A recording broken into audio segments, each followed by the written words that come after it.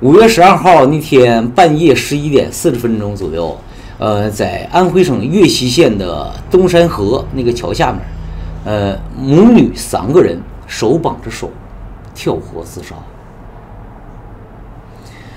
这个女的给他看一眼照片，这就是她和其中的一个孩子，她的名字叫王小娟啊，一九八八年出生。嗯，目前是三十五岁。他一共有两个女儿，一个是两岁，一个是八岁。这个看起来，哎，应该是八岁那个，是吧？哎，这事刚发生的时候呢，立马就有很多人就是批判这个王小娟，说她太自私了，你自己是吧想死就死，为什么还得带着两个孩子呢？然后我就觉得吧，那个未经他人苦，莫劝他人善。你说事情哪有那么简单的？谁闲着没事想自杀？谁想带着自己孩子一起死？对不对？王小娟吧，她没有留下什么遗书，说这个事儿到底什么原因呢？就只能推测。因为咱们吧，对这个事情感觉都是比较啥的，都是比较那个震惊的，只能推测。他这人，他老家是在岳西县四十公里外面的一个农村，是个农村人。然后他这个人学历不高，他是高中学历。嗯，大约十年前，她嫁给了一个小子，这小子叫楚某全，咱们呢就给他化名叫楚二全吧。我觉得咱们之前讲过一个周二全的，挺啥的，挺坏的一个人啊。他就叫楚某全。然后王小娟这个人，她的性格是非常的内向腼腆。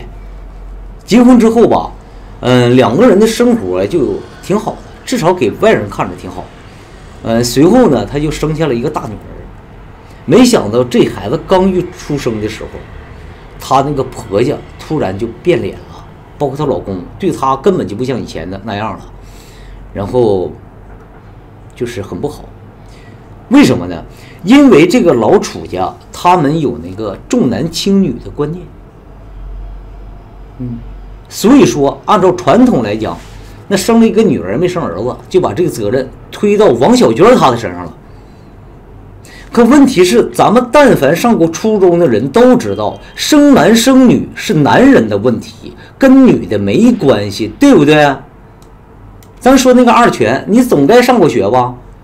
初中没念过吗？难道这知识都学到狗肚子里去了？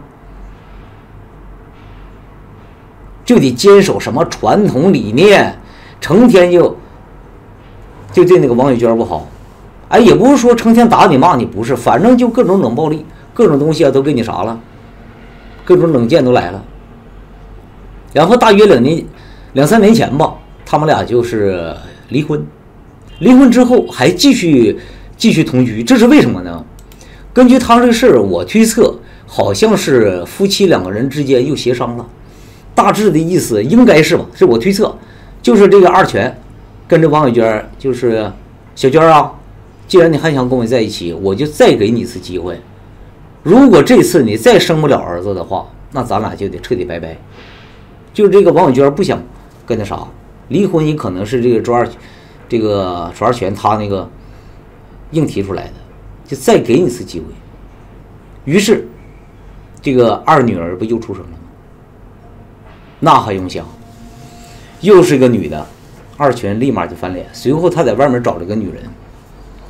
这个二全吧，他是不不缺钱的，他在他那个县城是有一套房子，然后他家在合肥还有一套，另外他还开了个眼镜店他找的那个女的呢，就是他们这个眼镜店里的一个员工，哎，但你也不能管她叫小三儿，有人说是小三儿，不是的，毕竟法律层面，人家二全现现在他是单身，是不是？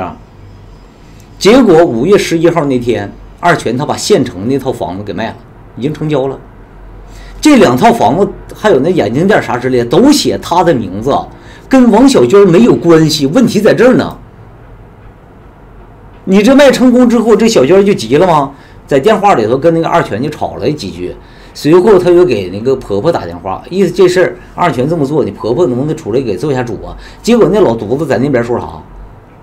他就说了一句话：“我告诉你一个喜事儿，二全刚刚有了儿子。”就那个女的，人给生了一个儿子出来，然后你说放下电话吧，这小娟她会怎么想啊？复婚肯定是没戏了，而且所有财产自己一分没有。因为离婚嘛，之前这个二全按照法律啊，法律的判决，每个月是给那个王小娟两千五百块钱，就说孩子的抚养费。可这两千五百块钱也不行啊，俩孩子他自己又没有什么赚钱的能力，他怎么把这两个女儿给养大？然后吧，咱们说这只是他经济方面的压力，是吧？在精神层面的更大。我们就说，你说哪个女人她不想有一个美好的家庭？然后看看她呢，她年纪轻轻啊，从刚生下第一个孩子开始，二十多岁就遭人抛弃。就这个年纪，他都能把他后面那些个破碎的人生一眼看到头。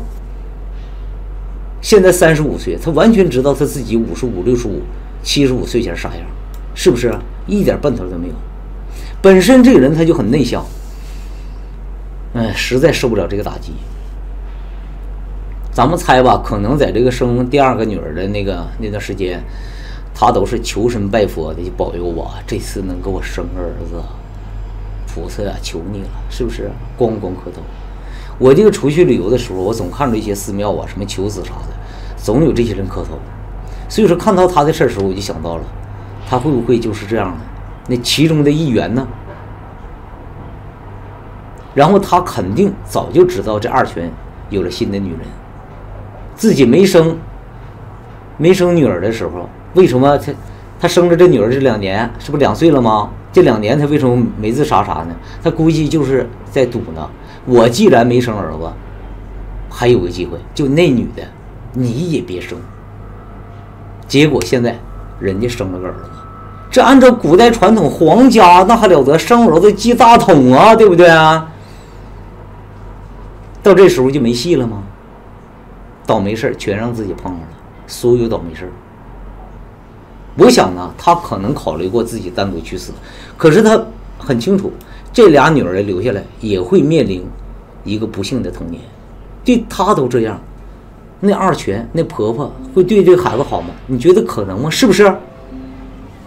所以说，十二号上午，他就带着两个女儿出去了，然后晚上呢，他用自己携带的绳子，把那个女儿们的手吧，分别绑在自己的这个左右手上绑了，然后直接下去。欧了，这事儿吧，看了之后呢，就让人觉得，你说咋这么愚昧呢？这么垃圾呢？都什么年代了，还扯上古人那套什么败类的理念？啊，叫什么传宗接代，要延续香火，不孝有三，为无后为大，对不对？还扯那套。有的网友挺生气的，到那个楚二全他那个眼镜店去，扔了鸡蛋。那有啥用啊？你要要我说的话，大家都知道啥概念？对于他们这一家子，无需审判，直接枪毙，是吧？关键问题是什么？他们这些他没犯法，对吧？法律制裁不了他。总有人说什么法治似的，说如果要严格法治的话，对于他们。这种人就只能是干瞪眼儿。那人这一家子，我没打你，没杀你，也没骗你钱，我就是不搭理你。我就喜欢儿子咋的？我就不喜欢女儿，犯法吗？啊，然后俩人感情破裂，我离婚也是很正常的，对不对？